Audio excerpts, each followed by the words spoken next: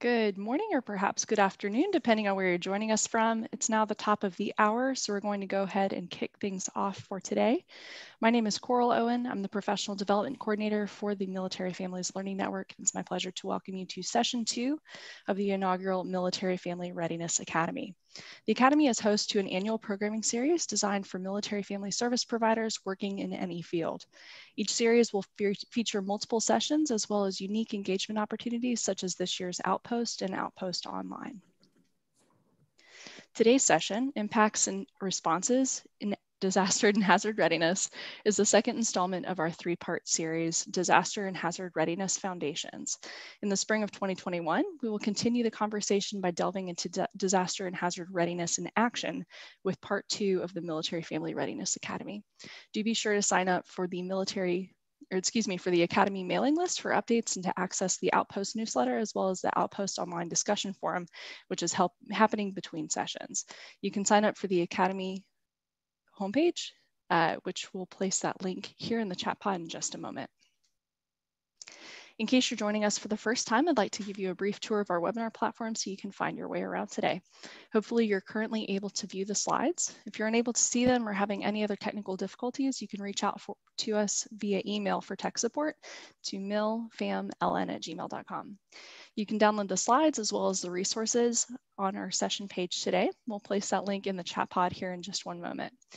As many of you have already done, we do look forward to having you join us in the chat pod today for conversation and for questions as well as hellos. To embed the chat pod so you don't miss any links or conversation, simply place your cursor over the shared slides. You should then see a toolbar pop up across the bottom of your screen and then from there you can select the chat bubble icon. When typing your comments or questions, please do be sure to select the all panelists and attendees response option from the drop-down menu. It's uh, located right above where it says type message here. This just ensures everyone is able to view our conversation in the chat today and facilitates a much, much more robust understanding. We'll also be covering evaluation and continuing education information at the end of today's session. The Military Families Learning Network is part of a DoD USDA partnership for military families, and our passion is to connect military family service providers and cooperative extension professionals to research and to each other through innovative online programming. It's now my pleasure to introduce our moderator for this fall series, as well as today's guest speaker, Dr. Keith Tidball. Dr. Tidball is the PI for the MFLN's Community Capacity Concentration Area. He is also the Associate Director for Environment and Natural Resources with Cornell Cooperative Extension and holds an appointment as Senior Extension Associate in the Department of Natural Resources. In addition to his extension roles, Dr. Tidball also currently serves as a commander with the 2nd Detachment of the 10th Area Command with the New York Guard. It's now my pleasure to turn things over to Dr. Tidball to introduce our speaker for today.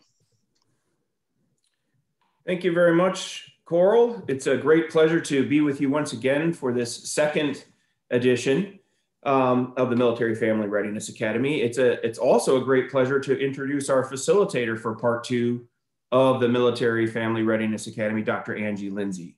Dr. Lindsey is an assistant professor at the University of Florida in the Department of Family, Youth, and Community Sciences. And her research focuses on disaster preparedness and recovery within rural communities, looking at crisis communication efforts before, during, and after disasters. Her extension work has been in partnership with extension and organizations to meet gaps and needs within communities affected by disaster. Dr. Lindsey has worked on several large interdisciplinary projects, including the Healthy Gulf, Healthy Communities Project, which is focused on resiliency and rebuilding of Gulf Coast communities following the Deepwater Horizon oil spill. Dr. Lindsey or Angie, it's great to have you here with us again today. Please take it away. Thanks, Keith, and thanks, Coral, as well. And uh, welcome, everyone. Thanks so much um, for joining us this morning. Uh, it's so exciting to see where everyone is coming from and uh, all the different places all over our lovely globe this morning. Uh, I am here in lovely Gainesville, Florida, where it's kind of muggy, thanks to Hurricane Zeta to the left of us. So uh, our thoughts and prayers are with our family and friends to the, to the left portion of Florida and Pensacola, but also Alabama and Mississippi and Louisiana. Poor Louisiana has has gotten the brunt of the hurricane season this year, so we're definitely thinking about everybody uh, today as Hurricane Zeta gets closer to uh, gets closer to the coast there. So um, very excited to talk to you about today and what uh, we're going to be talking about with impacts. But I first wanted to introduce myself for those of you that were not part of the first session, uh, a little bit more about me. So that picture up there on the right is yours truly uh, many, many years ago. So I am originally from South Carolina. I think I saw Pam was uh, joining us from South Carolina. So hi, welcome from a fellow South Carolinian. Uh, but back in 1989, we had Hurricane Hugo come across uh, South Carolina. And at the time, my father worked for the South Carolina Department of Agriculture, and he was very involved in the Emergency Operations Center and the EOC there. And I was a high school sophomore, and they, uh, after Hurricane Hugo went through, they needed somebody to come ha- answer phones and take donations to help some folks out and yours truly had their picture made. So uh, my dad likes to say that he is the one responsible for my interest in in crisis and disasters and managing uh, both. So uh, definitely an interest in crisis communication. My education background is indeed in, in communication. Undergraduate is from crisis, is, is in corporate communication from the College of Charleston in Charleston, South Carolina. And I have two degrees from University of Florida. Uh, so before I came back for my PhD, I, I did work in the nonprofit world for a little over 10 years. I was a public relations manager at the Jacksonville Zoo in Jacksonville, Florida. And then I was an executive director, a North Florida affiliate of Susan G. Komen for the Cure for about eight years. I came, found my way back to Gatorland and the Gator Nation to get my PhD. Uh, and now uh, I am pu- an assistant professor in the Department of Family, Youth, and Community Sciences. I also work with the Public Issues Education Center uh, here on campus. And then probably the most important work in relation to my, my role here today is that I am the Florida Extension Disaster Education Network point of contact for uh, for the University of Florida IFAS, which is the Institute of Food and Agricultural Science. And we'll talk a little bit more about that um, through the presentation today as well. So just want to give y'all a little bit more about me and, and my role here today. So uh, we always like to start with some objectives and what we're going to be talking about today. So today we're going to talk about, discuss at least 10 of the impacts from hazards and disasters from overall impacts to impacts that are on individuals and families as well. Determine at least five factors that impact community response and recovery. And identify three tools and tactics that communities use to respond to and recover from hazards and disasters. And like Coral said, I, I definitely going to be using the chat box. Would love to hear from from y'all some of the things that your community does and some of the impacts as well you've seen after disaster. So welcome your comments in the chat box and I, I, I will have slides for those as well. So of, of course, and I, and I love this slide, uh, and I think it really sets the tone for what we're going to be talking about today and the unique challenges that military families have in disaster preparedness, mitigation, recovery, and response as well. Uh, it's a crucial part of any community, obviously. We, we are all involved in disaster preparedness and mitigation and recovery, but for military families, preparing for disaster can look differently compared to the civilian population. Military families have additional documents to keep track of. Uh, they can be separated from family members. They may have family members with special needs. Uh, someone may be stationed outside of the United States, uh, definitely not in their comfort zone or what they're familiar with. And additionally, National Guard service may be deployed to state active duty to get personally involved in disaster response and recovery and may therefore be away from the home as the rest of the family copes. So uh, when response and recovery are, are, critical, oftentimes some of these folks are after, often deployed, which would uh, be very stressful for a family. So definitely wanted to start with some of the unique challenges of looking at disaster preparedness and in response and recovery, especially with military families and military communities.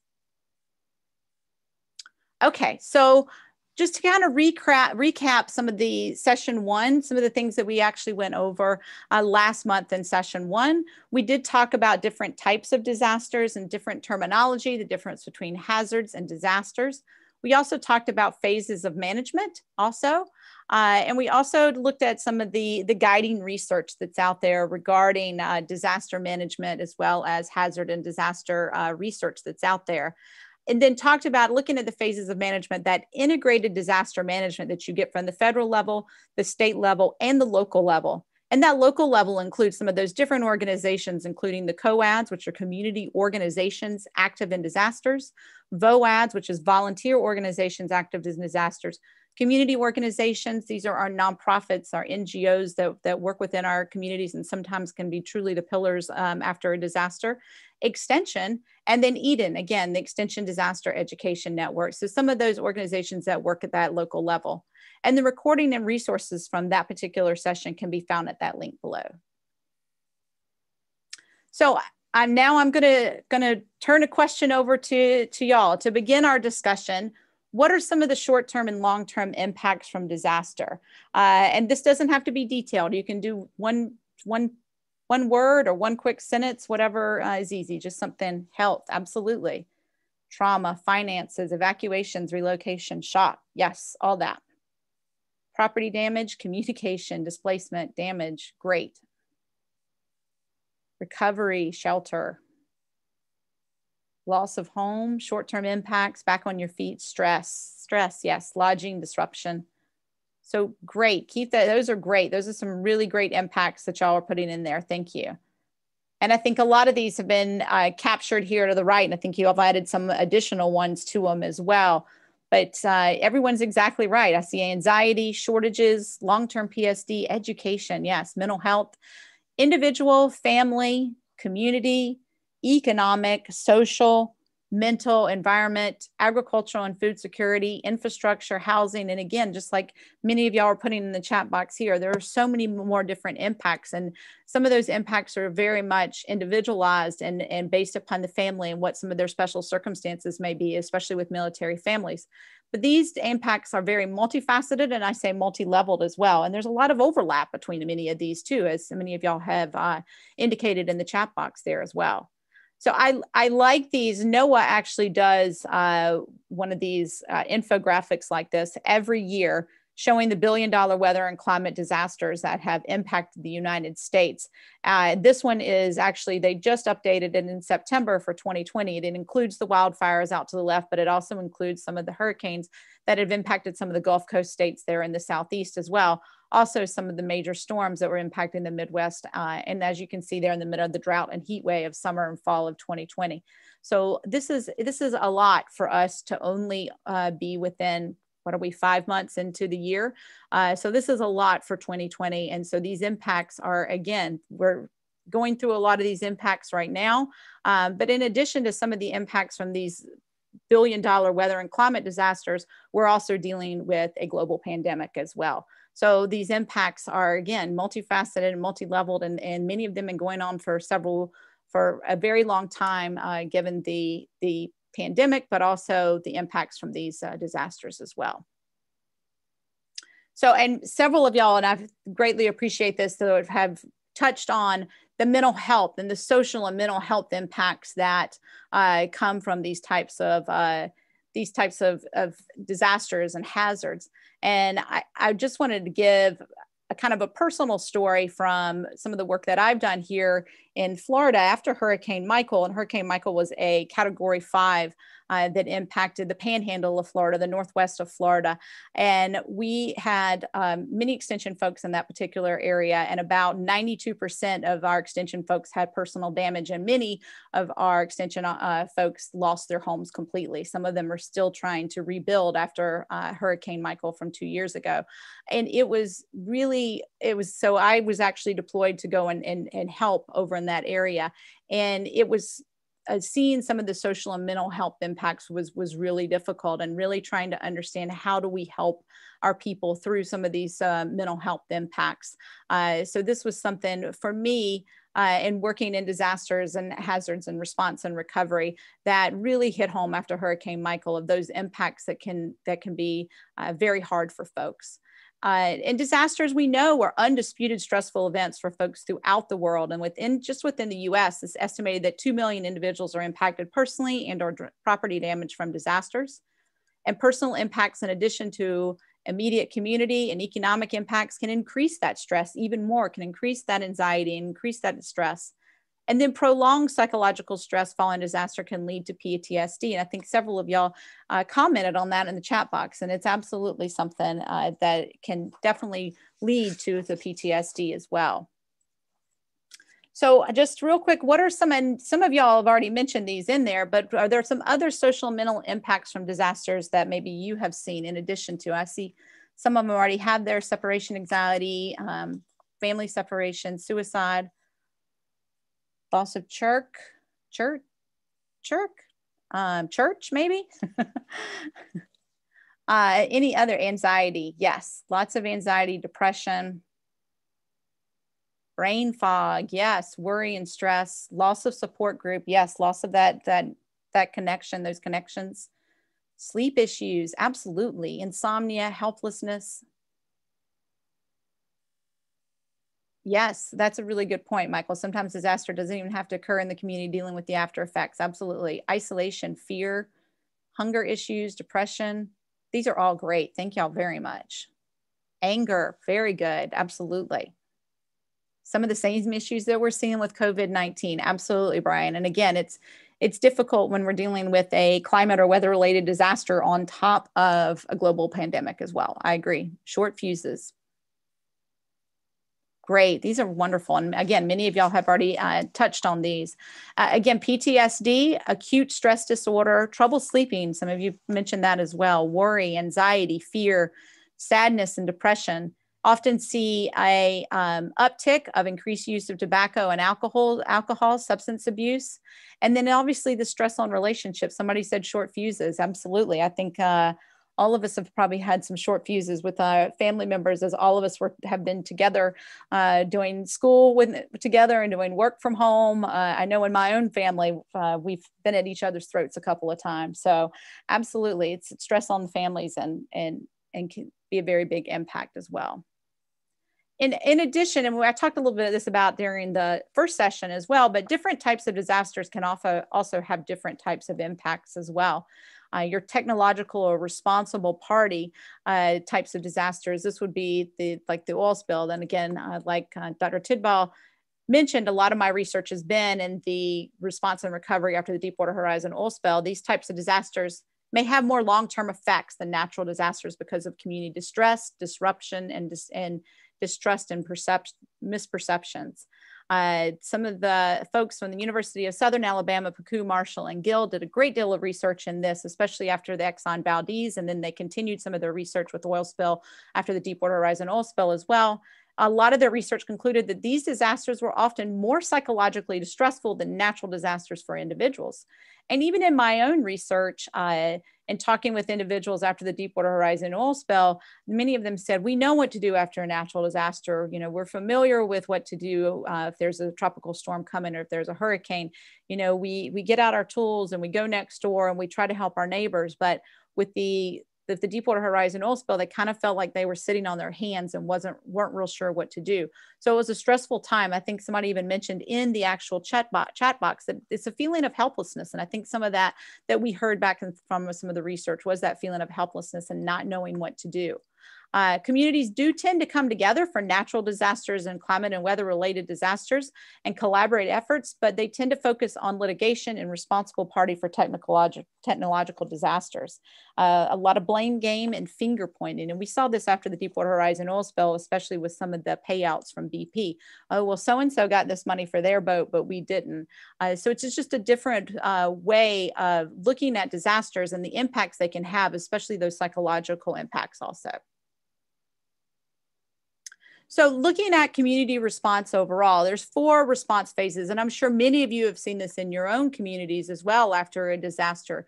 You first have that heroic stage, and I mentioned that a little bit earlier in some of the research that we've done here at the University of Florida. Several folks say that you know, I know what to do. I go outside. I'm here to help. What can I do to help? I'm going to get this tree up off my neighbor's uh, driveway so they can get out. Uh, and it's very much so of a heroic, we're going to help each other. We're going to get through this. And so that leads to the, the honeymoon stage of, oh my gosh, I love my community. This is a great way for us to come together. This has been fantastic. Then disillusionment starts to starts to kick in and this is when we're a little bit further away from uh, from the actual disaster and you're starting to see well maybe my, that insurance claim has not come through yet and this is taking longer to get back to normal as we thought so some of that disillusionment kind of kicks in a little bit of as folks are starting to get into more of of the recovery stage and really uh, maybe some frustration that they're not recovering as fast as they'd like. And lastly, the recovery and reconstruction, which can go on for many years. I mentioned Hurricane Michael earlier in the Northwest uh, Florida and the Panhandle, and recovery is still going in, reconstruction is still going on on that area. Here we are two years later. So uh, some great comments in the chat box too, absolutely, that um, takes a lot too long for things to get back to normal insurance never pays for things absolutely kathy that's definitely some of the some of the disillusionment and things that you see coming disillusionment to recovery and reconstruction as well and again I, I definitely want to stress the unique responses for military families as well and if you look there on the bottom uh, looking at disasters and the impact it has everyone is impacted. So the, at a baseline, everyone is impacted in some way. But then you add the extra layer of stress of a family member is deployed, or an, another la layer of a family member has to deploy after the disaster. Or you also have a, an additional layer of possibly a family member with special needs, and then a damage to home and or important documents. And again, the family member is deployed. And the support system network is disrupted. Uh, somebody mentioned that in the chat box. When your network is disrupted and in a lot of cases uh, some folks aren't able to rebuild. Uh, we saw that after obviously hurricane katrina where folks just moved out of the area. So sometimes that support system uh, is completely disrupted as well and military families can have one of these additional uh, layers of stress, or they can have many of them or all of them at one time. So it's that extra layer of stress, that psychological stress and mental health impacts uh, that you want to look at as a res unique response for military families. So what are some other unique challenges that military families may face in the aftermath of disaster that maybe y'all have seen or uh, have experienced?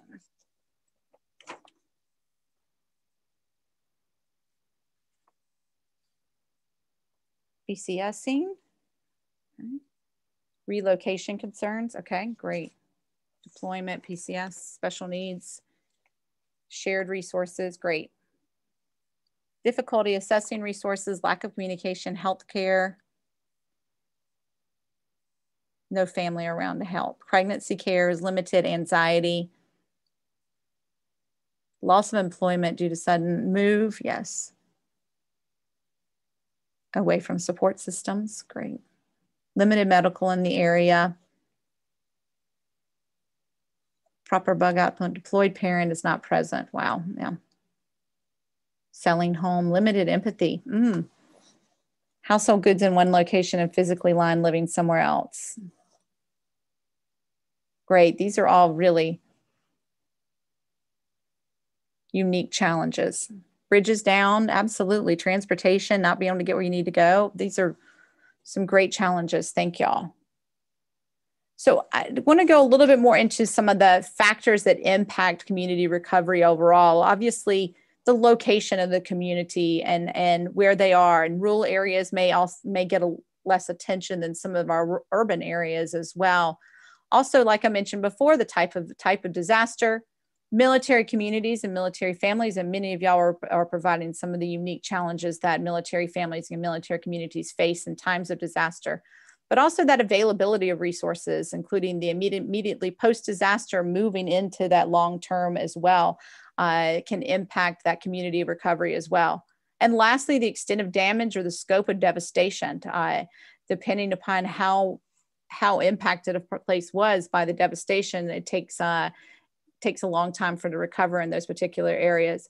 And looking at the location of community in rural areas may get less attention. And this is something that I think all of us understand definitely. And, but one of the things that we saw here in Florida after Hurricane Irma was that we had pockets of what I call pockets of rural areas. So we had uh, communities of farm workers that were in urban areas, but they were kind of in pockets of rural areas in South Florida. And several of our extension agents reached out to me and said, you know, these folks aren't getting the same resources that others are, and there can be language barriers, et cetera.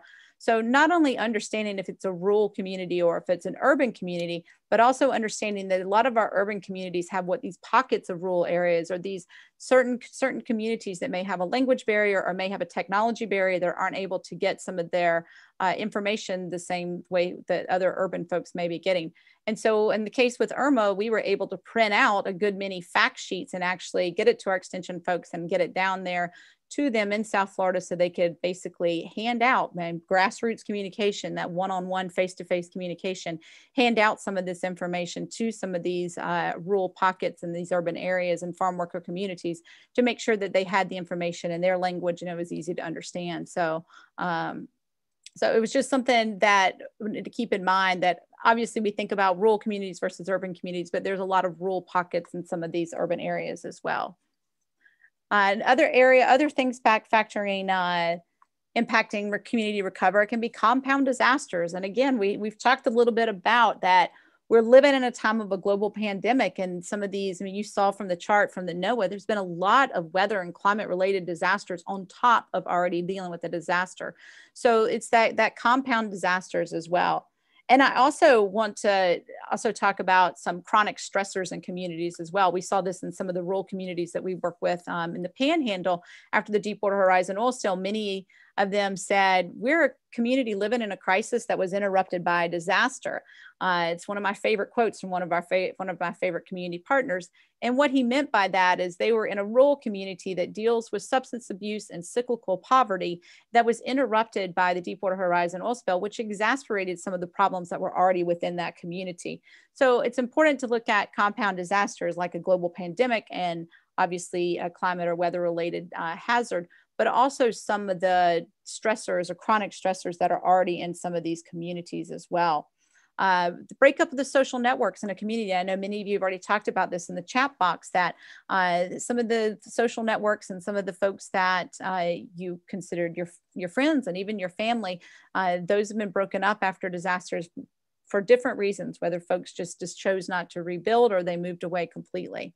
Uneven recovery, that goes a little bit back to uh, what I was talking about with some of the farm worker communities back in South Florida, that even though they were in urban areas, they had special needs and special circumstances that didn't allow them to recover at the same rate some of the other parts of the community were recovering.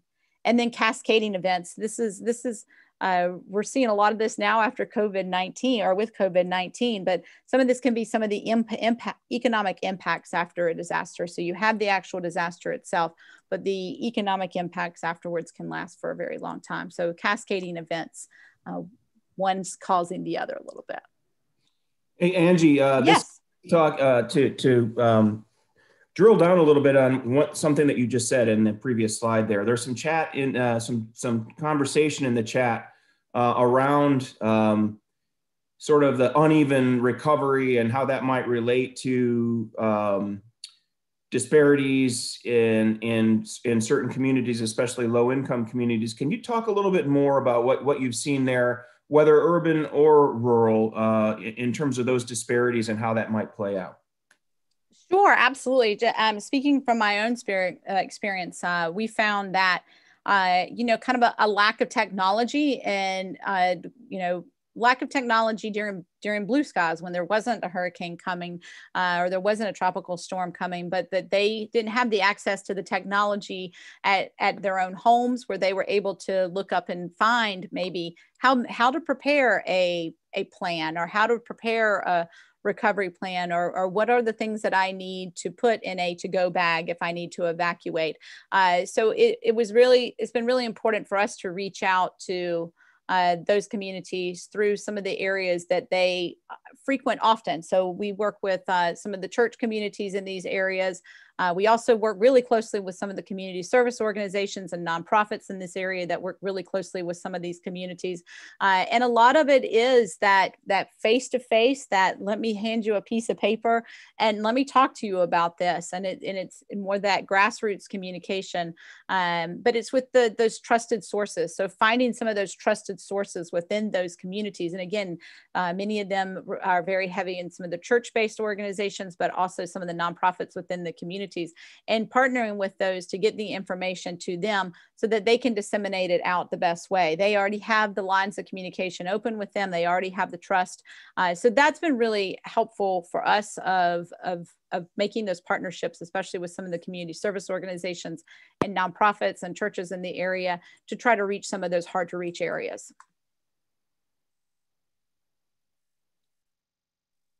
Thanks, Keith. That's a great question.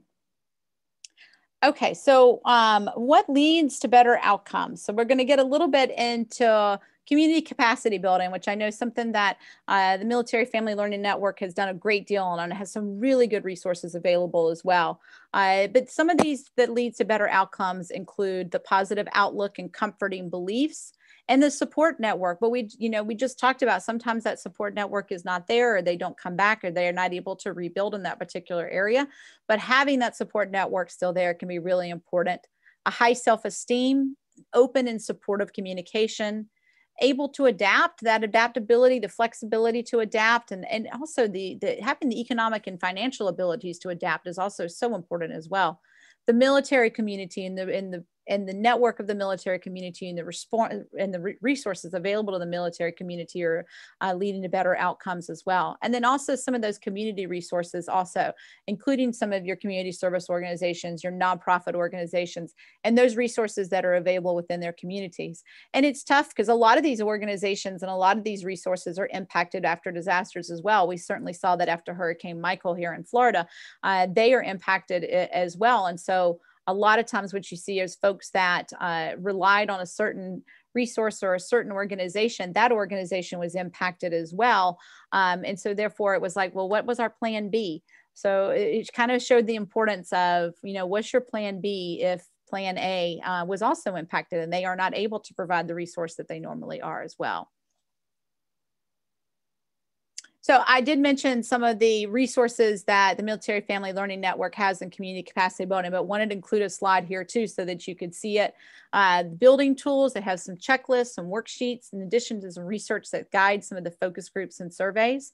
And it all works together. Enhanced community capacity provides ability for communities to bounce forward after disasters, to, to bounce back, to, to bounce forward from keeping what they valued in the community before the disaster and keeping that and moving forward in the recovery and re recovery stage as well. Angie, one thing I would add there uh, before you ask this question is that if, if folks are interested in uh, some of the resources on the community capacity building uh, area for the Military Families Learning Network, there is also a, a link to a community capacity inventory where you as practitioners and the people that you work with can actually inventory your community capacity. And you can do that with the lens of what happens if I were to experience a disaster. So I would encourage you to, to check out that community capacity inventory tool uh, if you uh, have the chance. Great point, Keith. Yeah, that's definitely one that we've used a lot um, here in Florida as well. So thank you. Okay, so a quick question here. What are some of the community capacity building efforts that you've seen in your own communities?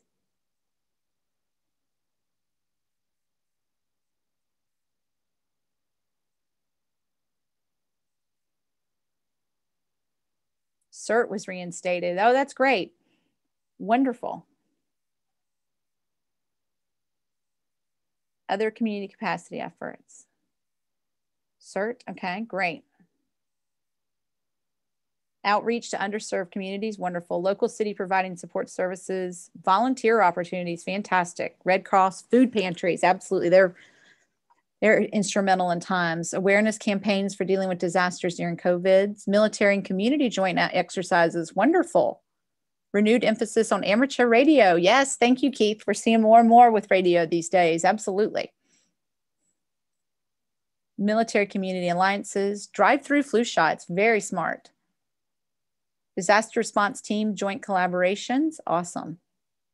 Food pantries, Facebook groups, Churches working with food pantries and local community grassroots organizations. Wonderful. I love seeing these organizations work together. I think it's one of the reasons I've gotten really into the disaster stuff. I love to see the collaboration among organizations to meet the needs within the communities. COVID testing sites, yes. seen that in my own community. Absolutely. Community provided additional cell network access to install. Oh, wow. Interesting. Vet organization providing food for military. Awesome. Fantastic. These are some really great community capacity building efforts. Increase volunteer infant care, monitor child trafficking, lost children. Wow. Interesting. These are fantastic. Thank you. So uh, just some of the community resources, and, and we've mentioned some of these and throughout the presentation, and many of y'all have mentioned these within the, the chat box too, but looking at some of these community resource and community service organizations and, and some of these pillars of communities that come together in times of disasters as well. Obviously, corporate cooperative extension. Uh, we're lucky here in Florida, we have uh, 67 counties. We have an extension office in each one of our counties. So, and each one of our counties is involved in disaster preparedness, mitigation, response, and recovery in some regard. So uh, we're very lucky. And then obviously the Extension Disaster Education Work, which is the EDEN Network. Uh, we are a national uh, network of folks uh, throughout uh, Extension and Red Cross, Salvation Army, several of y'all mentioned these as well, faith-based disaster response groups, All Hands Volunteers, Team Rubicon, which we worked with after Hurricane Michael, AmeriCorps, Senior Corps, Military One Source, including Military Family Readiness, direct relief and international insurance organizations uh, sometimes have these uh, nonprofits or service or arms of, uh, of their insurance companies as well that can be very helpful after disasters with helping people fill out some of the insurance paperwork and guiding them through that process as well. And then COADS, which are, again are community organizations active in disasters. And then VOADS, which is volunteer organizations active in disasters. And then military relief society as well. So just give you an idea of some of the um, organizations that are involved in, in, in, community capacity and helping with that, uh, not only preparation and mitigation, but that response and recovery after disasters as well. And I also wanted to mention that the FEMA Community Lifelines, this is something that came up in the last session as well, uh, but that the, there's also a level of, of the government also building capacity in the community and helping community recovery as quickly as possible. And one of these is through the community lifelines. And these lifelines are the most fundamental service in the community that when stabilized, enable all other aspects of society to function. And you can see there on the bottom, those fundamental services. So the effort to uh, get those areas back together to help build capacity and help communities uh, respond and recover after disasters. So this is an integrated network of assets, services, and capabilities that are used day to day to support needs. Uh, in the last session, we talked about, you know, what's the difference between those and the emergency support functions, also known as ESFs. And ESFs and other organizing bodies that you may hear through disaster management are the means that they use in order to get these services back to uh, stabilization. So they are the way to organize across departments and agencies, community organizations, and industries to enhance the coordination and integration to deliver the response core capability. So uh, these are just means of making sure that these lifelines are back to a stable process.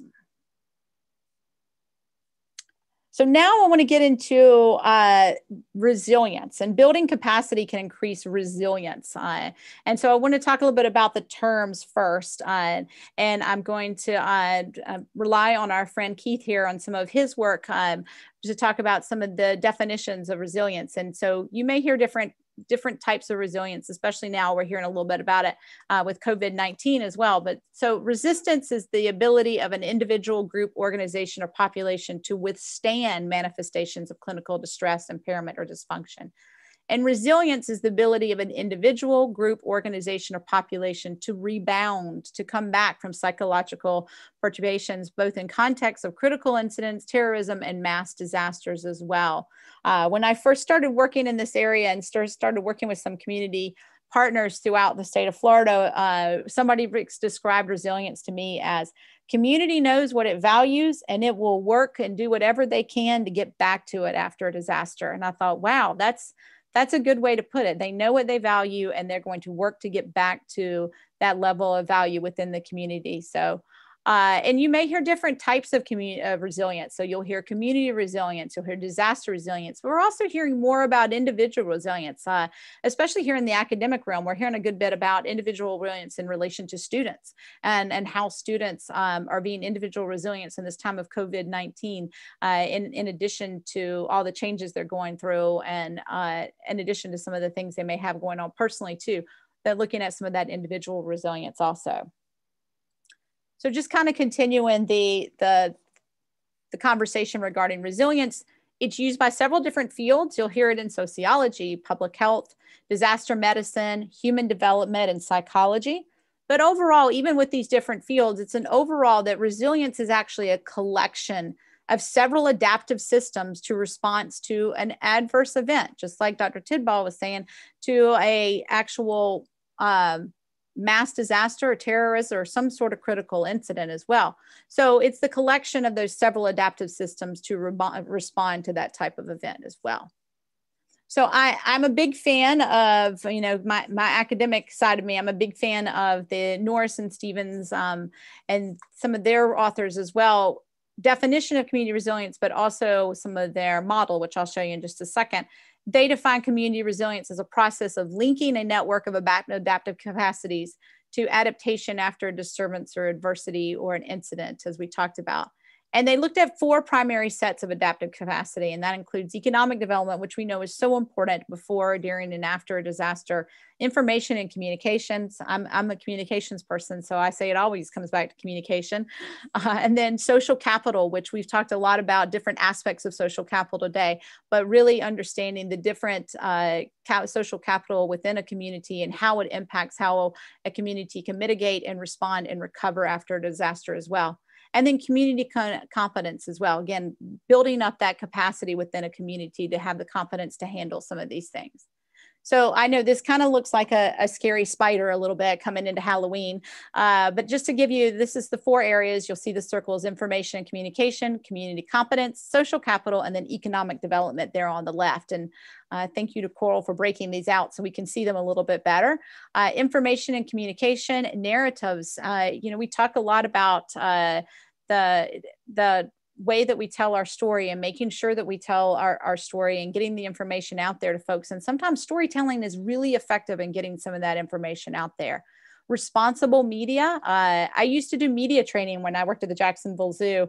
Uh, and I used one of the first things I used to say to the folks working at the zoo was media can be your friend uh, and continuous on with some of the research that we do with how folks get information during disasters, we continuously hear that local news uh, is the way they receive their information. So responsible media can be so important during times of a disaster skills and infrastructure, make sure it's already there to, in, to ensure that you have that information and communication. And I would also add that make sure that you have a plan B because we all know that communication can go down very quickly in times of a disaster. And then those trusted sources of information.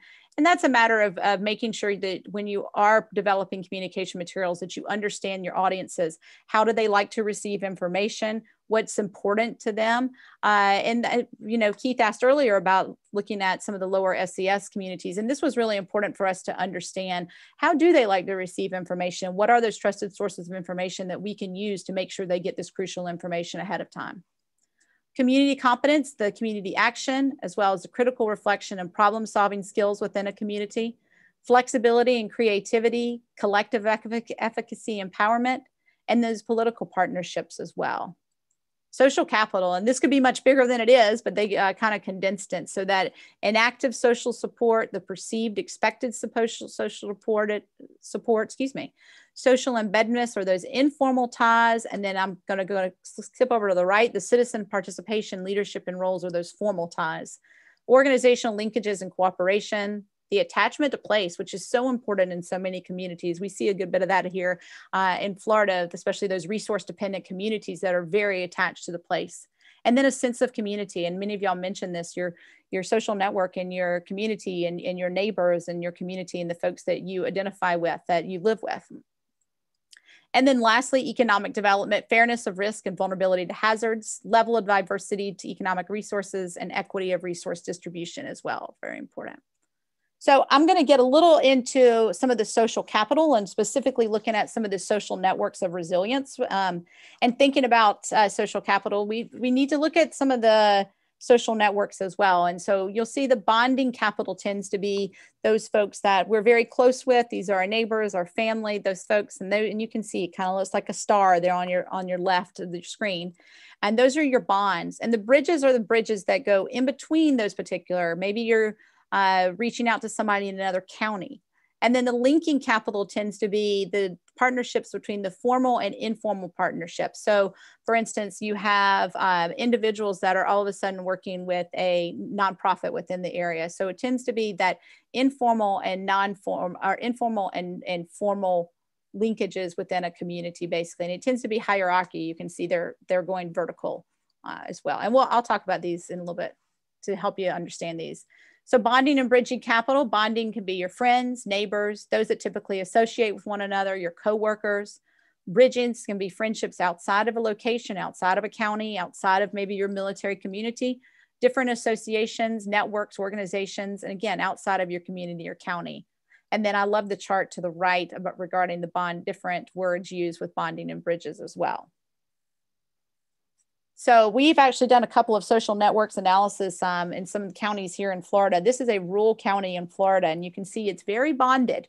They are a very close knit community, and they uh, you can see we each dot represents uh, a connection they have with each other, and you can see that they are they are very closely bonded with one another. but this is kind of what you want to see. You want to see the goals and the bridges and the linking where it looks more like a spider web. Uh, so you, so those bonds, you can still see the bonds there in the blue and the black. You can still see those bonds, but then you see the bridges and the links as well. So I love this uh, particular uh, infographic by the University of Minnesota, and I think it really explains the differences with the bridges and the linking and the bonding networks as well. And linking is often that connection, like I said, between your formal and your informal networks. And it's a matter of, of bringing all of this together and coming together with strengths and shared responsibility to recover or, or to prepare and to recover and to develop plans to increase resiliency within a community. Uh, and many of these often cut across the different powers, so the different bridging networks, the linking networks, and the bonding networks. And community organization that connects with a government organization or funder can definitely be a linking network. And it oftentimes is a hierarchy as well. So you're you're definitely go, go, going up to to uh, a different organization or a governmental service. Um, so it's a, a hierarchy level also, and when you're thinking about linkages. So thinking about bonding bridges and linking capitals, I'm going to ask y'all a series of questions here. So bear with me. So what do bonding capitals look like with military families? And these are your bonding capitals, just to refresh your memory, are those close connections and those common social backgrounds.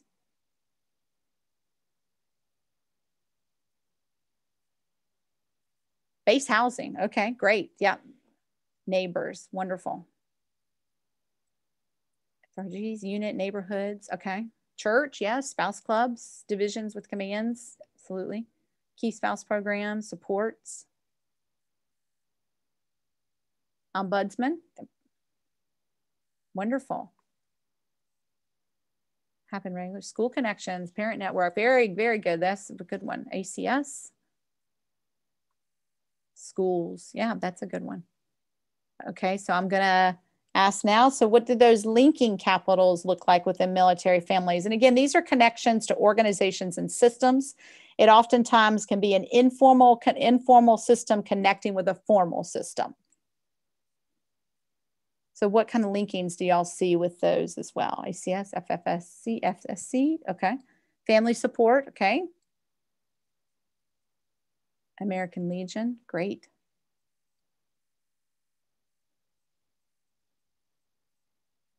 Commodity service churches and clubs. Yep. VFW, Military One Source. That was one of the things that we talked about was a community resource, USO, counseling associations. Good.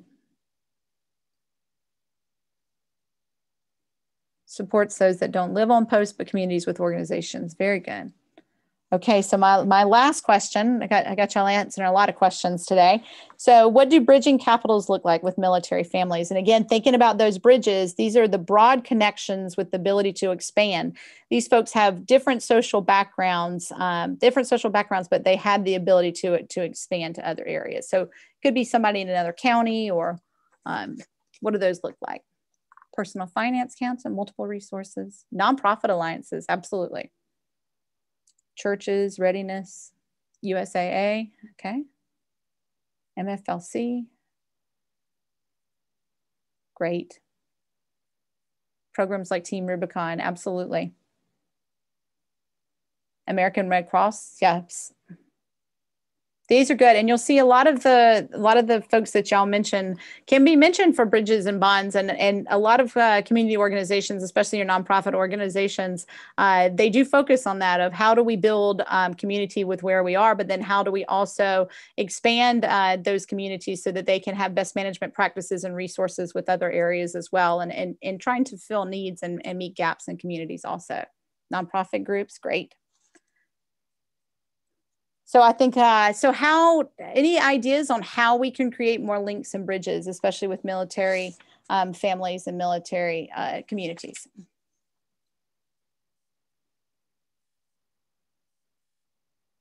Outreach programs, volunteer and donate. Volunteer, that's a great one, absolutely. Join events with communities. YMCA, yes, they're, they're, they do a great job of uh, making connections. Contact them for a good resource list. Coalition, open communication local cooperative extension 4-H, absolutely. Social media, fantastic, absolutely. Great, some good ones, thank you. And, and just wanted to touch on some additional programs and some of these are things that I have seen and become involved with, especially after disasters here in Florida, are art programs. Uh, uh, there's several rural communities in Northwest Florida that have really focused on uh, art programs and have uh, formed plein air and they have had artists come in and uh, do do art from that particular community. And it has brought several counties together and communities together and also has brought tourists to the area as well. Uh, so it's been an, a unique project that i've seen folks uh, do after disasters as well. Community greening uh, community gardening as well as community forestry and natural naturalist programs uh, which are offered through Extension as well. And then partnership with other youth organizations around the state, obviously Extension and 4-H development, communicate, community restoration work, uh, youth corps programs uh, here within Florida as well. Some of the Gulf Coast states, we have Conservation Corps where uh, the youth are involved in, in in rebuilding after disasters, but also in helping in conservation projects and also living memorials as well. So are there are there other things that you've seen in your own communities after disasters that helped in recovery after disasters, other programs that maybe I didn't mention here? Oh, the Crest Foundation. Yep. Lions Club. Yeah, yeah. Continue reaching out. Absolutely. Local fraternity and sorority chapters. Oh, that's fantastic. Yeah, they, a lot of them do have those community service projects. That's a great point. Counselors going out to talk to kids, faith-based outreach yes freemasons and order of eastern stars good. Air force aid society good. I know a lot of those uh, different branches of military have those aid societies so it's wonderful. Great. Jack and jill. Well i'm going to uh, wrap up here, and I and I love this particular graphic that is from the community capacity website that we gave earlier on the Military Family Learning Network website, and it's helping you build community capacity. And I and I think that how can we work together to better prepare, mitigate, and recovery, and and looking at what other uh, communities are doing, and look at what other organizations are doing, and how can we use those strengths um, within our communities to help each other, and identify and develop areas where people can help each others. Uh, and I talked about that collaboration and communication with another organization uh, that you come together to build community capacity within these communities. Sharing your stories. We talked about the narrative with communication and how important it is to get uh, your message out there, but also to share those stories, the good stories that take the time to celebrate, especially in the time of a global pandemic like this. Some folks, we need to hear some of the good news and take the time to celebrate and communicate that good news as well Uh, and I think of one way of looking at whole community is is to plan ahead of time to to look at those different organizations that we can collaborate with now in order to meet those anticipated needs after disasters and looking at recovery and response after disasters. And so, how can we plan and how can we plan ahead of time to work with those individual organizations that have the strengths that uh, may work really well within your organization to meet them the needs after a disaster as well. Um, and, and preparing for disasters, and I'm, I'm trying, kind of given a little advertisement for the last session here, but I think it's so important in looking at building capacity and building resilience that you that you have a plan, and that includes planning for the disaster, but also planning for the response and planning for recovery as well. Uh, I, I'd love to say our, our extension dean here at University of Florida, when we start first uh, went on lockdown for COVID-19, he said we're we are building an airplane while we're while we're flying it. And I think he's exactly right. We're living in a time of teachable moments here in, in COVID-19, and especially true right now as we're living with this global global pandemic that it's important to incorporate the different Im impacts and plans and to look at those impacts and plans uh, the different impacts that we've talked about today and plan ahead for those social and mental impacts. Um, be proactive about it. Think about those things that you individually like to do, or families do, or things that the community can do, such as art or community gardens as well, uh, that can provide some of that social or mental um, impact break as well. And then also, and I know this is so hard, I know it's been hard for me too, take note of what is being done and what has worked uh, what has worked and that that maybe you can put into a plan later on that look this worked really well for us when we were going through covid-19 maybe it will work well when the next time we're impacted with a weather or climate disaster as well. And just be aware of all the impacts a lot of them that we talked about today. Make it a topic of conversation especially your mental health not just secondary after the physical.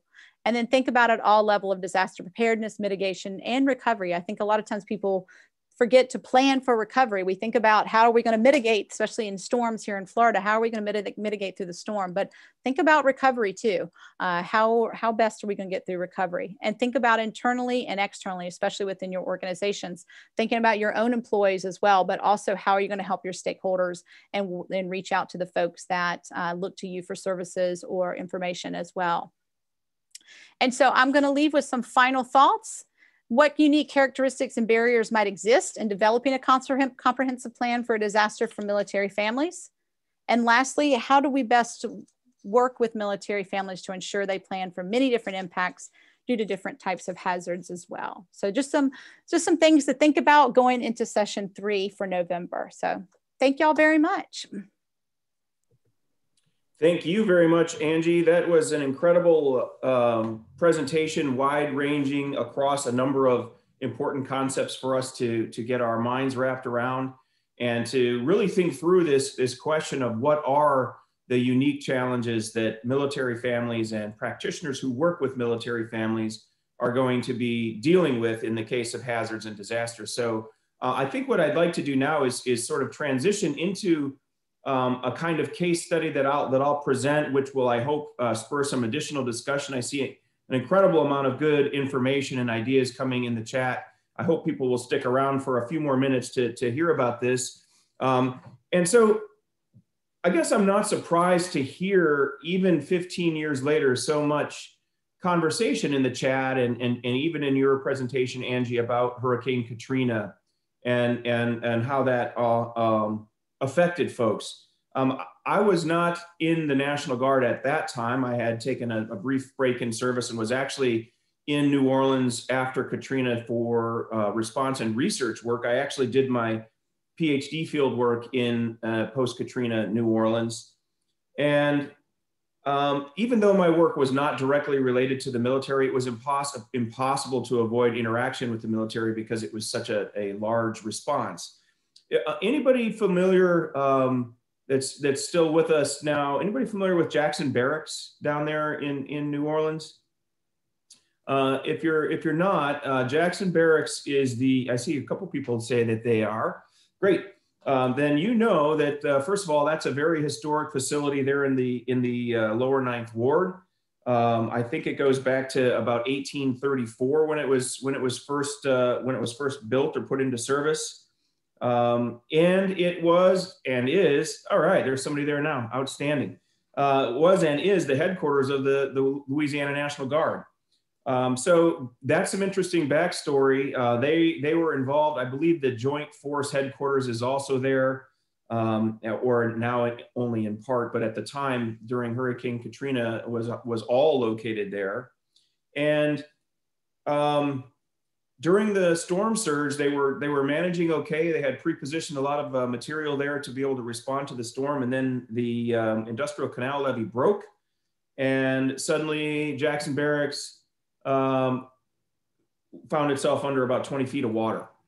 Um, so, so suddenly the capacity for the, for the Louisiana National Guard to respond uh, was compromised, especially given coordination and, and, and, and communication that was supposed to be happening out of that Joint Force headquarters. Um, and what was also interesting about that, my recollection was there were a number of, of military families that were either in residence there or very nearby that were directly affected. Now, I, am I'm, I'm telling this story because I'm, I'm relating um, Hurricane Katrina and our experiences with it. And some folks who are in the chat box right now who, who are actually thinking about this and also preparing for, for Zeta, I see. I'm relating this to the one of those early slides, Angie, that that you had in there in terms of what is so unique about the military family's uh, experience of, of disaster. And my recollection there was, you know, we had probably on the order of um, 50,000 National Guard troops when all was said and done coming through uh, that portion of Louisiana. Many, many uh, of those troops uh, had families there in New Orleans or nearby or somewhere on the Gulf Coast that were affected. They were rolling through neighborhoods where their own family members, relatives, et cetera's homes were, were completely destroyed or in the street and were going to have to uh, respond to that. So at the, at the very same moment that they're in uniform rolling through the streets of, of their home city, um, they're looking at their families attempting to cope with these disasters. So I, I raise this point to say um, these these issues are not something that we can we can take lightly in terms of the effects of disasters on military families, especially when those military families spouses or, or parents or brothers and sisters are actually having to deploy. I'm curious, Angie, uh, given given those observations, and I have a few more observations al- along that line. I'm curious though, in your personal experience with some of the things that you responded to, you know, what did you what did you actually see or experience that you that, that, that stands out to you that helps us drive home the point of how important it is for those of us that are working with military families to help military families prepare for all hazards?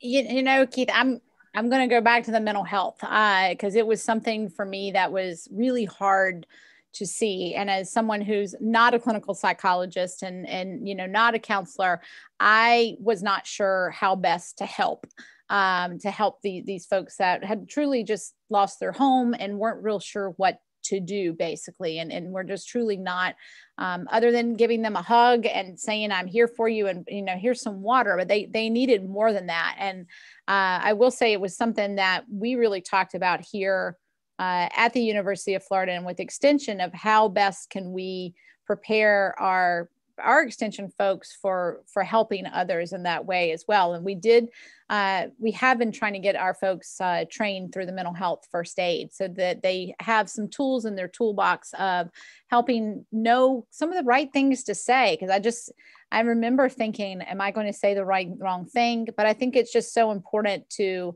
take into account when you're putting some of these plans together to think about some of those mental impacts that um, are, are really hard. And a lot of times, because of the mental impacts, I think folks can't think through what to do physically sometimes. I think you get caught up in some of the anxiety and get caught up, oh my gosh, this happened to me, that it's hard to put one foot in front of the other. And, and, and it's understandably why it's so hard to put foot, one foot in front of the other. So um, I know it sounds weird to plan for mental health impacts, but I think it's important to really think through what some of those impacts might be and some of the ways that each individual as well as family and organizations can think about ways to to address those not in addition to the physical impacts, not after the, the physical impacts.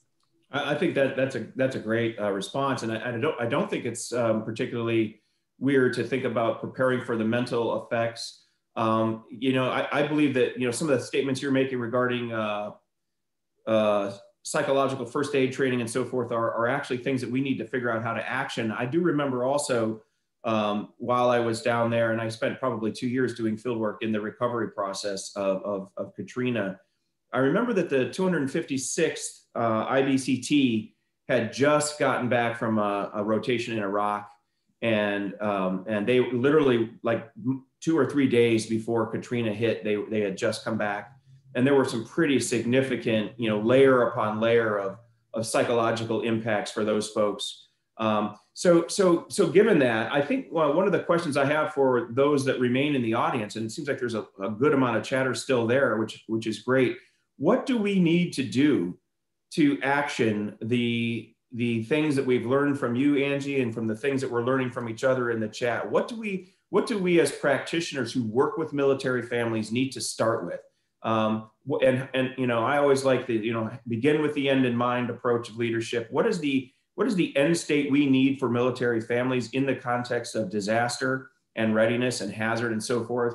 And what are the steps that we can we can take take? And, and I guess I'm asking those of you who are, are watching right now to, to, to let us know. Tell us what what you need right now uh, to be able to start addressing this question, not only in terms of the physical security and some of the go bag issues, you know, that we, we were talking about, but also in terms of that, you know, uh, proactive mental health measures uh, and so forth that, that would need to be, be put in place. I'm going to be watching uh, what the chat uh, has to say. I have, I have an, uh, an observation also, Angie, again, to, to, to sort of pick your brain a little more.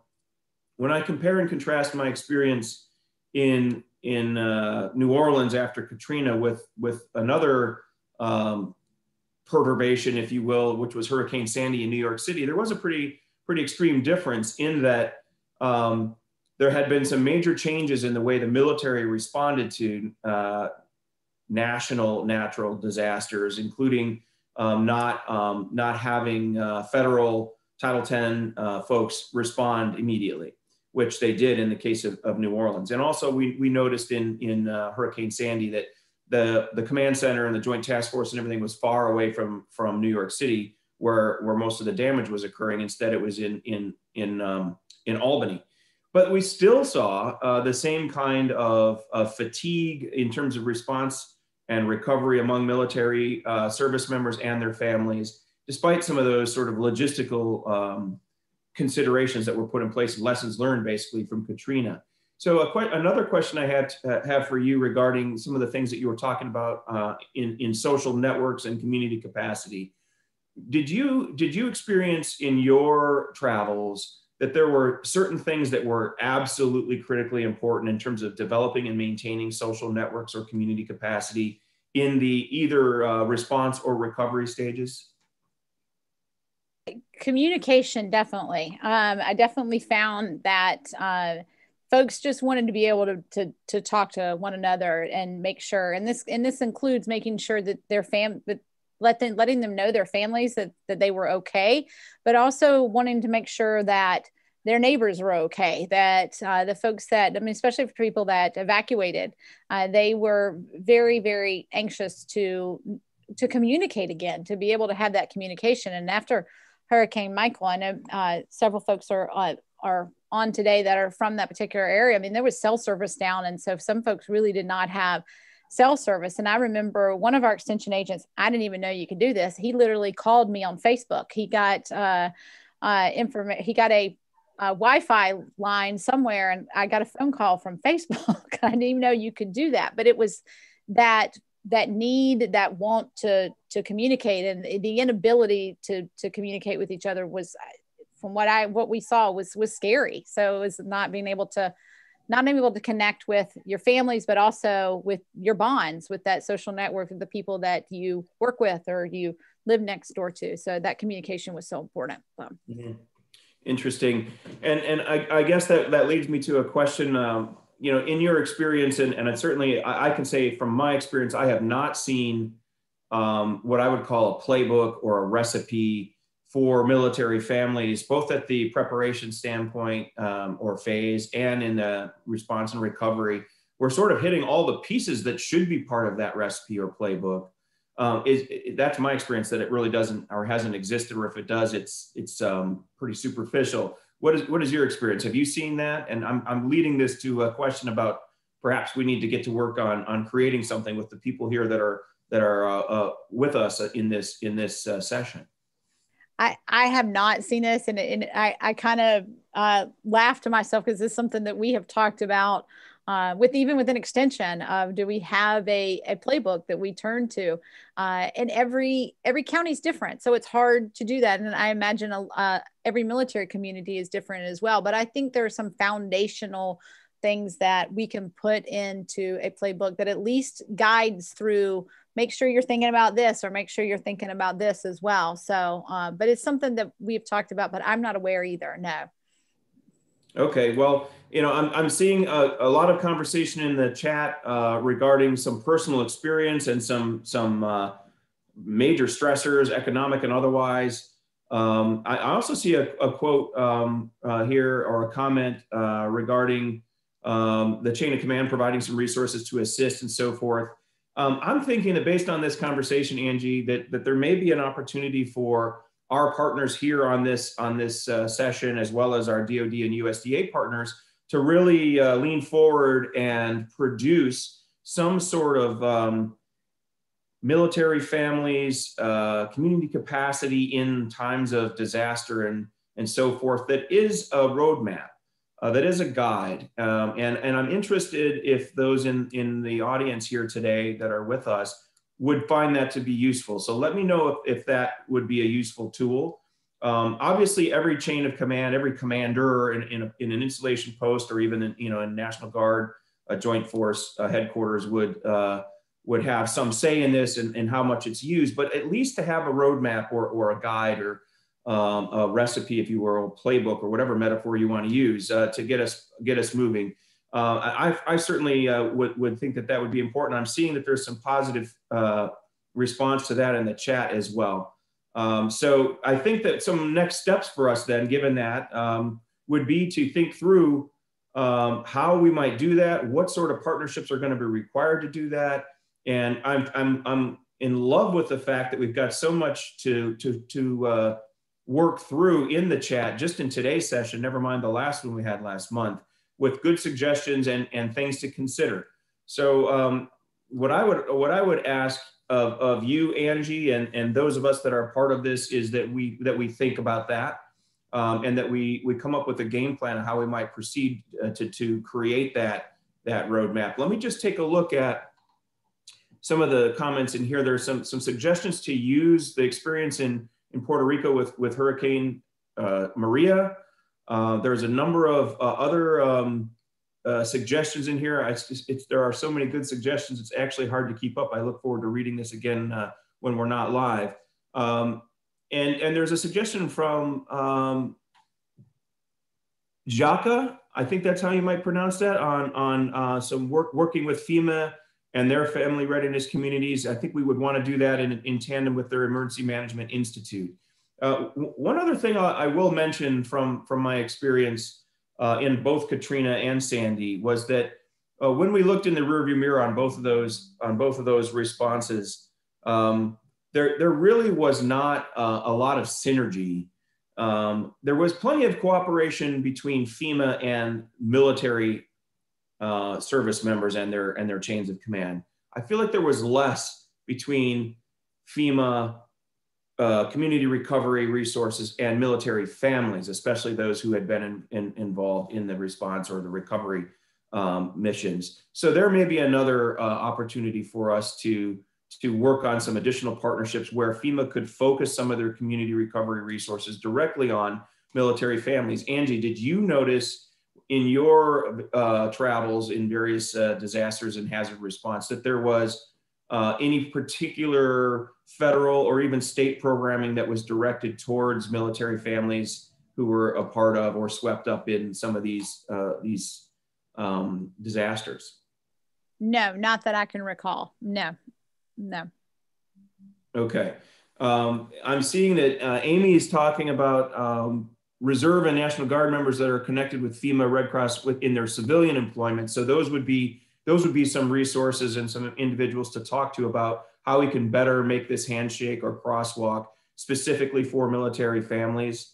Um, and and I also see uh, that uh, Kathy is is is confirming that uh, there could be more uh, cooperation and coordination of resources in in that sense. So I, I think that um, based on uh, the conversation we've had today and some of what we're hearing from our colleagues in in the chat, there are um, some great opportunities for not only the Military Families Learning Network and for those practitioners who are working directly with military families, but probably more broadly for the cooperative extension system writ large uh, as a part of USDA and for DoD military family readiness to start to think through what a program uh, and a playbook might look like. You know, obviously, I'm not committing any federal agency to any any uh, resources or any any any um, uh, future objective, but it does seem that, you know, based on what you've said and based on what our colleagues here who are, are with us today are saying, there's a need for something like this. Um, last question I have for you, Angie, uh, based on, uh, on what, we've, what we've been talking about, and this is probably something that folks in the chat uh, will also be uh, interested in, is if, if you had to, looking back now, if you had to um, provide a, a single piece of advice to a to a military family member who is experiencing something like we're hearing uh, in the chat, where their lives are disrupted, they don't have uh, you know financial means to relocate after a major disruption like this, and a spouse is deployed and not able to actually help with the basics after the flood levels reside, uh, um, um, go down. Uh, what single piece of advice, based on your experience, would you give a military family member in in that context? So, just just from my experience and some of the things that that we dealt with after Hurricane Michael is the um, take the help. Uh, you know, ask for the help if you need it, and take the help. Uh, I know uh, many of us are very proud, and and I'm sure there's a lot of military families that are very proud as well. And oh, I can handle this, but uh, you've just been impacted by by by a disaster, and and it's and it's very impactful. And there's uh, you could have physical damage as well as some mental health issues as well. And just take the help. There's organizations out there that are that are willing to help, and there's uh, people out there that are willing to help. And and and I would suggest that to to look for those areas that that can offer some help and and take the help until you get back on your feet. Absolutely. That's good suggestions. I, I, am uh, i'm very impressed with a lot of the the the comments here that sort of align with what you just described angie. Um, i would like to before we sort of move towards uh, uh, of concluding this just to just to let um, the the people who are still with us address either you, Angie, or myself directly with a, with a question or a comment. Uh, so, uh, or, or, some further clarification from my experience, for example, in, in Katrina or, or Sandy, or your experience, Angie, in numerous other uh, disasters. Um, are there any questions that you want to direct at, direct to either of us right now before we move to uh, concluding this, this session of, of the MFRA? Anyone?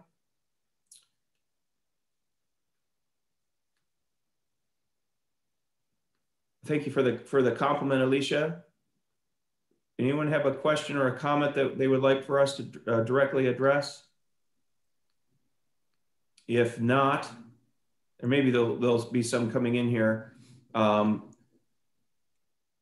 uh, here's a question from Bridget, uh, uh, and I think I might have seen this earlier. Do they still use memorandum of agreements or MOAs between the military and civilian communities? These were always outdated or dragged out for years those are supposed to be used, uh, and I, and uh, I know that there are some that are in place. It is true that many of them don't get dusted off until uh, something bad is going on, and then and then it becomes obvious that uh, they they need to be updated. Um, that's a good point. Whoever raised that point, uh, one of the things that we can do in Blue Skies is make sure that those MOAs are up up to date, uh, and and that's generally on the commander.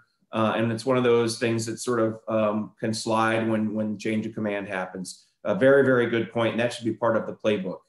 Um, there's a question about housing emergency response agencies.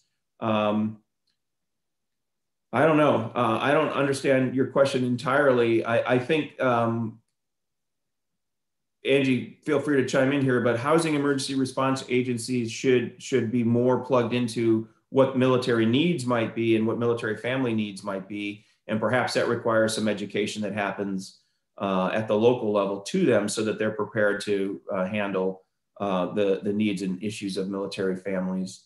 Um, there are a lot of people thanking us for what we've pre presented today, and I want to thank you all for what you have contributed to this.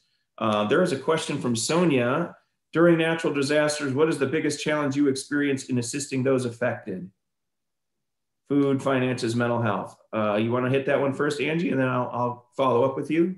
Sure. Um, and yeah, I, I'd hate to keep bringing it up, but definitely uh, mental health was one of the biggest things. Because I, um, and I, I don't think I talked about this in the last one, but I was getting emails from uh, folks around the state, especially after Hurricane Irma. And we had, uh, they were working with a lot of their citrus farmers who had just gone through citrus greening, which was a disease on citrus uh, plants. But they were meeting with citrus farmers after Hurricane Irma to make sure they were okay. And the citrus farmers were talking about committing suicide. And so I always have extension folks call me and say, How do I respond to this? And I said, I, I don't know. Like I, I really did not know. And it was tough for me. And luckily I worked down the hall from a clinical psychologist. So I pulled her into my office and said, help, you know, how do we, how do we help these that have been impacted? So I, I would definitely say, um, mental health was definitely something that, especially after Hurricane Irma, um, and Irma and Michael both, that, that, were something that were big challenges for us that um, that we're, we're still trying to work on. And like I said, working with mental health first aid and psychological first aid, is some some great recommendations there too. Yeah, and, and I would answer the question. You, you put up some interesting slides having to do with social capitals and sort of broke those down a little bit. What I noticed, and this was especially true in my research, is that one of the biggest challenges that people face after a few weeks have gone by, in terms of their place attachment and so forth, is the lack of those things that often are taken for granted the green infrastructure, important trees, important parks, opportunities to breathe fresh air, you know, green things of any kind as opposed to brown things and gray things and black things as a result of recovery uh, of infrastructure. And I saw that in New Orleans and I saw that in Sandy and I saw that in Joplin after we responded to that tornado and, and on and on and on. Uh, one of the biggest challenges is to prioritize that green infrastructure when everybody's busy trying to get the lights back on and the water to run again. But it does seem to have a major impact psychologically on, on, on disaster survivors, military families, or otherwise. That that uh, in answer to that earlier question, um, that that was one of the biggest challenges. And I think the more we can pre-plan to make sure that that piece of our morale and welfare can be restored as quickly as electricity and water, the better we're doing in terms of, of some of, the, of those morale and, and mental health issues. Somebody did ask a question, and this will be the, the last one I think we can hit given the time. Um, the the my thoughts on COVID-19, and, and I think Angie would be important for, for you to give this too. And, and this will be a little teaser because we're going to do a deeper dive on this uh, later uh, in another session that, that you may hear about uh, very soon. But I, I, I would uh, often categorize uh, hazards and disasters in, in terms of two baskets. Either there's the, the short burn kind or the slow burn kind. And, and often we're, we're, we're used to uh, the, the quick fuse kinds which strike suddenly, whether they're uh, hurricanes or earthquakes or, or major fires, etc. Um, pandemics and long droughts and famines are these, these slow burn uh, disasters that are much more difficult to get our arms wrapped around and our heads wrapped around. And they just continue to, to suck resources and energy and mental uh, um, and emotional uh, strength. And as a, as a result, it's a different kind of a, a, response and a different kind of planning. And I don't think that in, in it's, it's probably been a long time since our, uh, our um, leaders have spent time thinking through what does the mental health piece of, of, a, of, a, of a slow burn disaster need to look like. And so, you know, my thoughts on COVID 19 right now are that we are probably woefully underprepared to deal with some of the, the mental implications of, of not only those that have been responding to, to COVID 19, but this, those that are enduring uh, COVID 19. Uh, those are my thoughts on that. Angie, do you have, what are your thoughts on, on uh, the question was about uh, COVID 19? I agree. I think uh, just to give a, um, an example, um, sorry, um, just to give an example, we actually just released a, um, um, a mental health first aid, particularly um, mental health first aid class that we're going to do here in um, Florida. And we only had 20 spots and we sold out within two days. Uh, so I think there's a great need for uh, that that mental health need, and folks are actually looking for it um, desperately right now. So, um, so yeah, I agree. I feel like that that we are woefully unprepared for a for for what's in for what's ahead of us and what we're dealing with right now. I, I hope that that's not a, a depressing uh, thing to end on. I think that the way we can get prepared is to do what we're suggesting together as a, as a group here. That the, the, the two of us, I think the, the MFLN more more broadly, and all of us assembled, and that is that we need to work together to develop a playbook uh, and, and a roadmap for how we, as those that serve military families and and and service members, how we navigate both the the the uh, fast burn and the slow burn types of, of disaster and hazards so that uh, community capacity manifests itself as community resilience and we have a, a, a strong and, and, resilient response to these things. Um, with that, I think that I will thank you once again, Angie, for these comments that you've made and for your sharing your expertise and experiences with us. Um, I always find it useful and helpful and, and always find things to chew on intellectually when you when you bring these things. And I think that uh, others probably have too. Uh, I thank the audience very much. You guys have been great, uh, great questions, great comments, and really appreciate some of the side discussions and, and, and helping each other uh, find new resources and so forth. I hope you will continue to lean on the Military Families Learning Network for more of that. And obviously, we can we can promise you that we will facilitate more conversations like this as as time goes forward. And with that, I will say uh, good afternoon or good evening, and uh, and turn it back over to to Coral.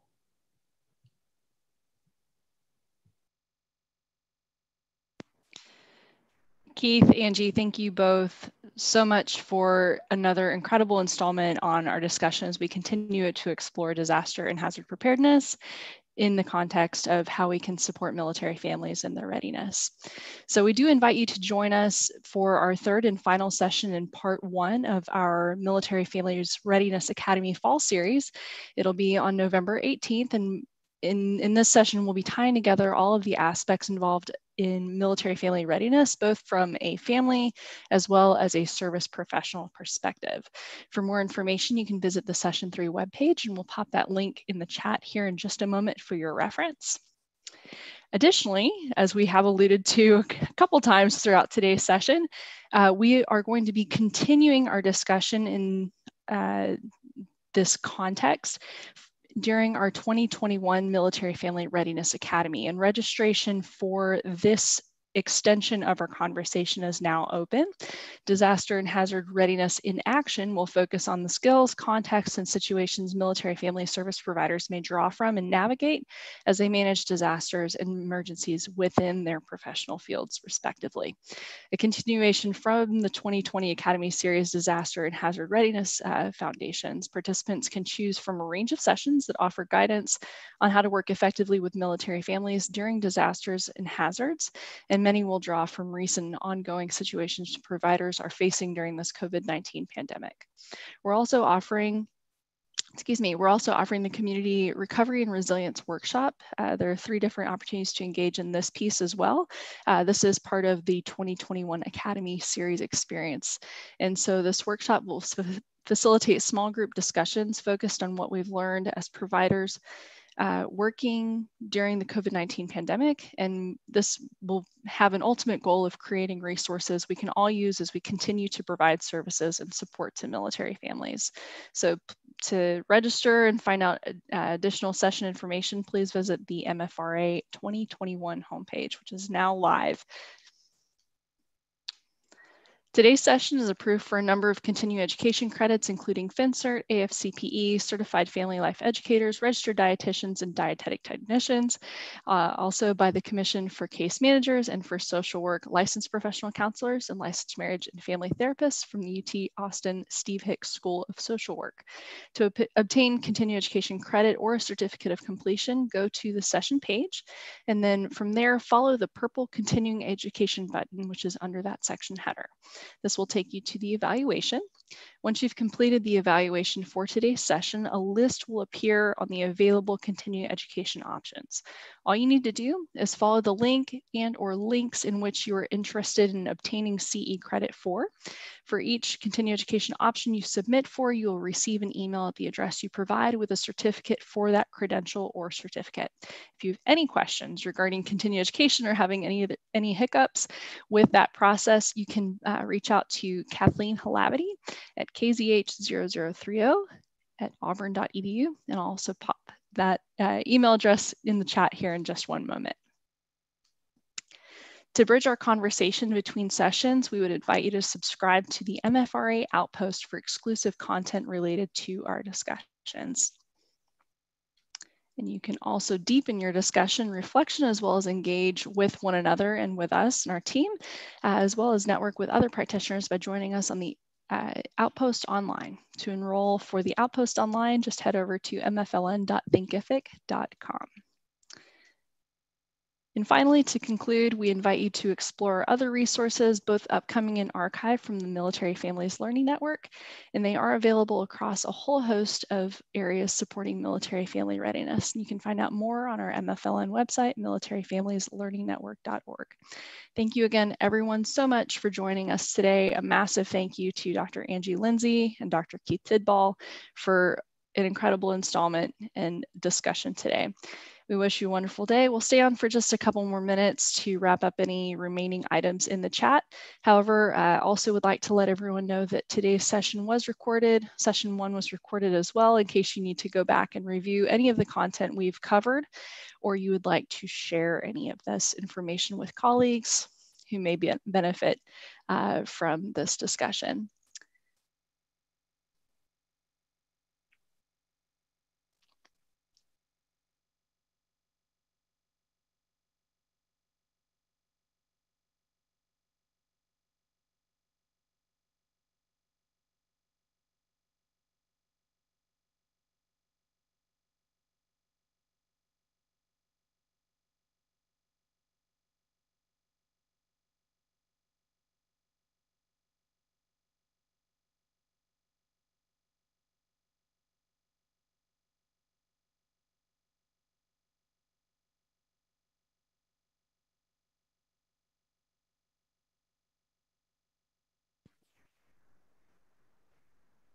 So in case you missed it earlier, I've just posted that link to session two, our homepage for today's session.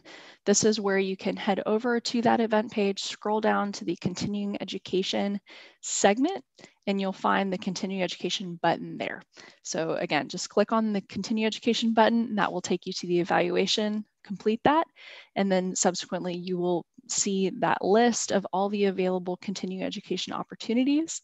Um, Again, if you're having any difficulties with the CE options, please just reach out to Kathleen Halavity at the email address that's listed on the slide, and we'll certainly be able to assist you offline. So thanks again for tuning in. Have a wonderful rest of your day, a great week, and we'll see you again soon.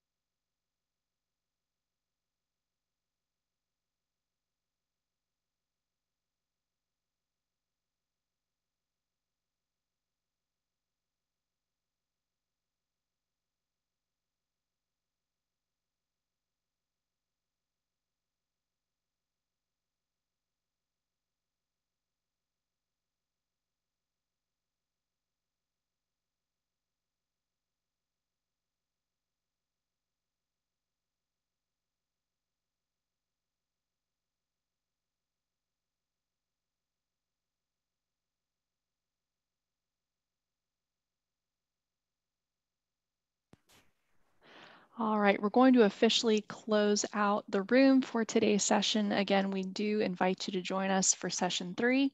If you have any questions in the meantime, please don't hesitate to reach out to our MFLN team. And we do hope to see you in conversation with the Outpost online in the interim as well. Take care, stay well, and we'll see you again soon.